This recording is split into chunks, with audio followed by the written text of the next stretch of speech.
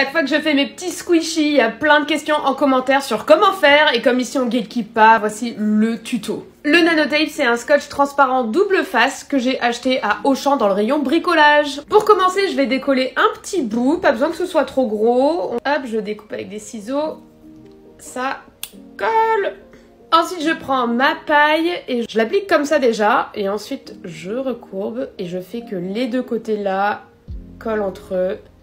En fait, ce qu'on veut, c'est qu'il y ait un petit espace là. Et par contre, ici en bas, il faut absolument que ce soit bien, bien collé. Il y a un espèce de film autour, on va le décoller. Ah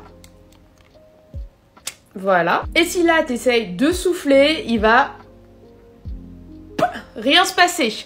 Il faut d'abord qu'on chauffe le scotch pour le détendre. Pour ça, on va utiliser une source de chaleur. Moi, je vais utiliser un sèche-cheveux du coup. Et là,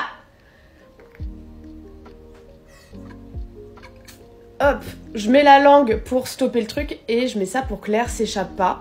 On a fait une petite bulle, on se dit c'est la bonne taille pour notre squishy. On va donc prendre les doigts Bien pincer pour pas que l'air s'échappe et retirer la paille. Une autre question qui revient tout le temps, c'est quand je mets du liquide à l'intérieur avec la seringue, comment je fais pour que ça fasse pas de trou? J'ai pas trouvé ma seringue, donc on va utiliser cette épingle. Là, je vais retirer ma seringue une fois que j'ai mis euh, l'eau.